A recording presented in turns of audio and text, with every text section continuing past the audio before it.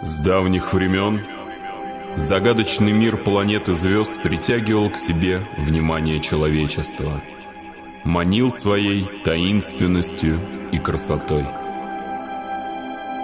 Звездное небо во все времена занимало воображение людей. Человек всегда мечтал подняться в воздух, посетить далекие таинственные планеты. Добрый вечер. С вами на связи Татьяна, ведущий специалист Центра управления полетами. И мы решили установить телемост между научным центром и вами, жителями и гостями славного города Суздаля. Говорить о космосе невозможно без применения самых современных технологий, поэтому помогать мне будет голос третьей планеты, который знает о полетах, о космонавтах и тайнах других галактик практически все. Здравствуйте, жители планеты Земля. Вас приветствует голос третьей планеты. Сегодня я могу отправить вас в космическое путешествие. Я посовещался с Межпланетным Советом и попросил разрешения устроить вам тренировочный полет в космос. Правда, нам разрешили лететь до созвездия гончих псов и обратно. Но думаю, что для первого раза этого достаточно. Это замечательная новость. Сейчас узнаем у наших зрителей, готовы ли они подняться на борт космического корабля и пронзить межзвездное пространство. Как видишь, голос, мы готовы. Что ж,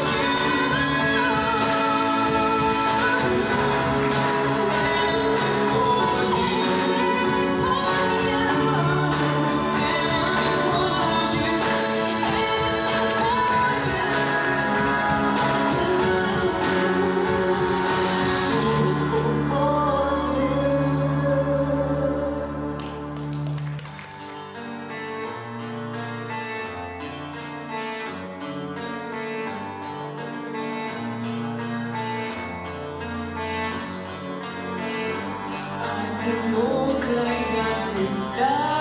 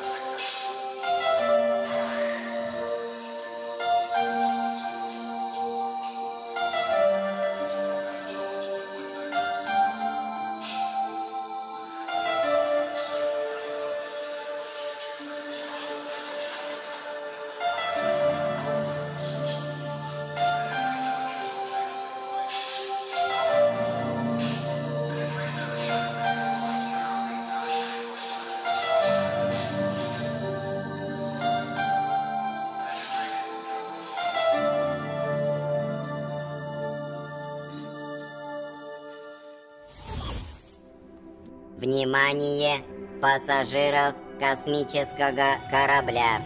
Включаю гравитационное поле. Прошу занять свои места.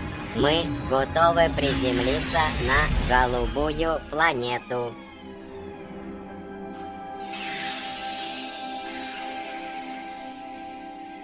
Дорогие друзья, всех поздравляю с благополучным возвращением на прекрасную планету Земля. И каким бы ни был манящим и неизведанным космос, в первую очередь давайте беречь нашу родную планету, чтобы будущим поколениям землян не пришлось бы переселяться на Марс. Ты согласен со мной, голос? Конечно, согласен. Счастливо оставаться на прекрасной планете Земля. До связи, друзья!